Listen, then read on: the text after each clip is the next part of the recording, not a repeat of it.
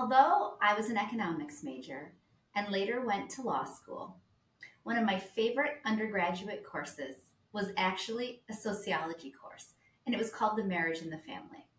I was fascinated by the dynamics of relationships within the family unit, particularly those between spouses.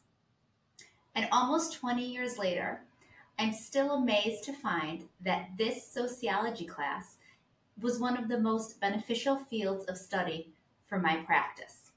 Now, the demographics of marriage in this country have changed significantly over the generations.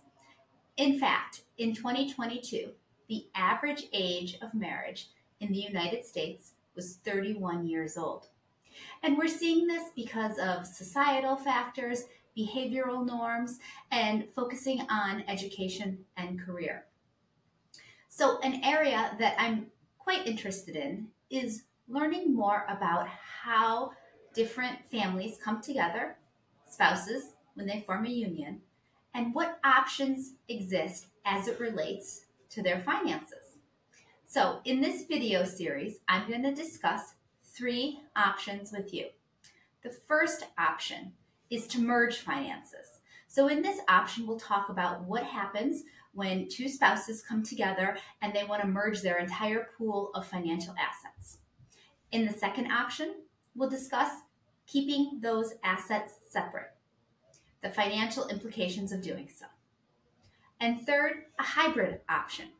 Now, a common theme that you'll see we discuss throughout these three options is protection of non marital assets.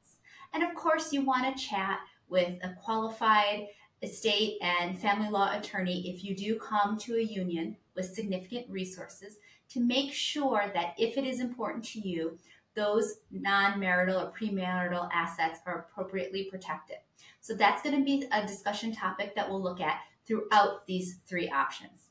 I hope you'll join me soon.